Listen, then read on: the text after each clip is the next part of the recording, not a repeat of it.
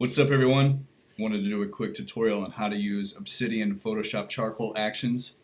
This action set will create a hyper-realistic charcoal effect to any of your images. The best thing about this action set, just like any of ours, is it does not damage your source image. Uh, you can mix, you can match, you can stack layer upon layer, you can edit, manipulate to your heart's desire, and your source image will never be harmed or damaged. So you can see we have the Obsidian actions loaded into the actions palette here. And we also have the Obsidian brushes loaded in. If you don't know how to open or load in actions or brushes, check out the PDF that we've included into the set. Uh, hopefully you guys already know how to do that, but if not, check out the PDF. It'll give you a step-by-step -step on how to do that. So a couple of things to go over before we get started here. Uh, first up is going to be we've got there, there are two main charcoal effects to the action set. One is charcoal light, that's for light backgrounds. One is charcoal dark, that's for dark backgrounds. This is the core of what creates the charcoal based image. Uh, this effect isn't lightning fast, but it's also not dreadfully slow. Uh, the higher your DPI goes, the uh, it's going to take a little longer. The lower the DPI, it's going to go a little bit faster just something to be aware of. So if you have a lot of softwares running at one time while you're using this, or if you have a lot of browser tabs open while you're using this, maybe close some of those out. Just trying to get your CPU freed so the action can perform to the best of its ability in a timely manner. So that's the first thing. The second thing to note is starting with one base image. So if you have an image but it also has a background that you're not using or maybe layers on top of it, go ahead and delete those or merge them so you're only starting with one source image. Another thing that you'll want to do is make sure that that source image is not locked like it is currently. If it is locked, just go ahead and duplicate it, Command J, and then delete the locked layer. So now we've got a free layer that's not locked and it's ready to go. So again, we have charcoal light, that's for light backgrounds, pretty self-explanatory, and charcoal dark for dark backgrounds. Um, as always, you'll have medium toned images, and with that, just use, just mix, you know, it's just trial and error. Just try either or, and you'll you'll kind of get the hang of it, and you'll you'll know which one's more suited for what. But this one's obvious. This one's a light background, so we're going to go ahead and run charcoal light. And let's just go ahead and click that play button. So again, this is a one-click solution. Uh, the reason why it's a little on the slower side is there's a lot of actions being performed currently. Um, the great thing is all of the actions are smart. They're smart layers and um, they're all editable. So you can pull back anything that you need to. You can remove anything that you need to. You can add anything that you need to. And again, your original photo will never be harmed. And it also is, uh, it, it orders them nicely. It puts them in a nice naming system so everything's nice and neat. And I'll show you, I'll open up that folder here once it's done. Again, it's about a 12 to 15 second process. There it is right there. So we can zoom up and, and see what the action did.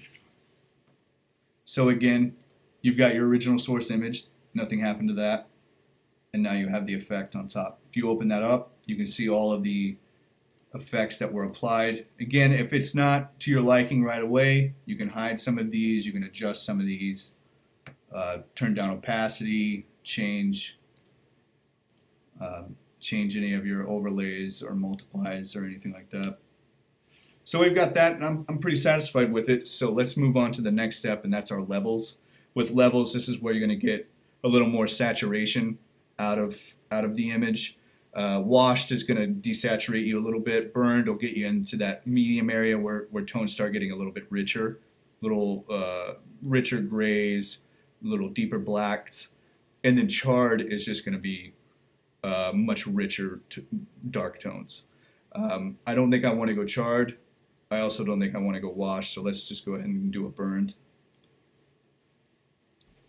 And that looks pretty good that applied that level there. So let's move on to the next one. is our sharpens. Again, this one's pretty self-explanatory. It'll sharpen the image. You can do a soft sharpen, medium, or hard. Uh, hard's pretty crispy. Uh, you can see that when you click there. I mean, it's pretty dramatic effect. It looks cool. I don't think I want to go that hard with that, with this particular image, so let's just keep it at a medium. Medium looks good. And again, it's just stacking our actions on top of one another. Uh, vignette blur, this is a cool effect. This uses the iris blur with Photoshop. And you'll notice with this action set, I've got some note prompts that go along with some of these, these steps to help you. Uh, once you get used to using it, you won't need these, but uh, it's probably pretty good to read through them first, first few passes. Uh, the iris blur, you can uh, adjust wherever you need. This helps you focus your image. Uh, you can adjust this however you want. I kind of want those wings in the back to kind of blur out a little bit. I think that's kind of a cool effect. This will apply the blur. And this just adds a little bit of dimension. Uh, puts the focus on the highlight of the of the fly here on the head and on, on the body. You can see when I remove it what happens back there. So that's a pretty cool effect. I like that. And then uh, we go to the brushes. Now this is kind of my favorite, my favorite part. Um, this image isn't massive. Some of these brushes are pretty large, so you might want to size them down a little bit before you start using them. Uh, this is a four-step process, and again, just it's got the notes along with it, so you can mix and match these brushes also. Uh, so let's hit the first one. The first one's just going to merge everything. So that just merged all of our art. It's it didn't add anything new. It just grouped everything all into one. And then we'll go to step two, which is adding in the brushes. And you'll see it just created a layer on top. And let's go and uh, select some brushes here. Uh, your brushes can be any color. They can be black, white, red, doesn't matter. It's all going to be the same effect. Let's get a real good one here. Here we go, this is good. Usually I like to stay in the frame when I'm using these brushes, and these brushes will rotate on their own so it doesn't look like you're just doing the same brush over and over. Well, I'm going to add a couple different ones in here.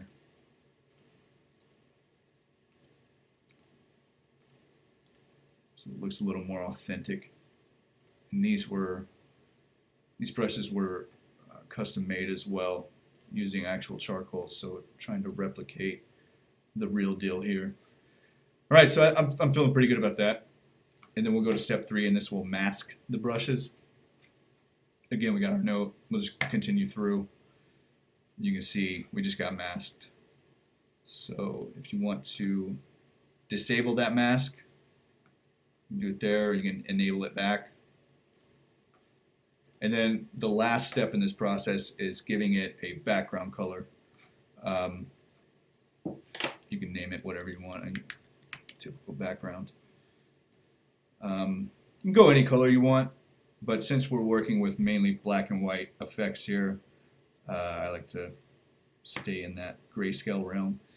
And you can see it added our background color.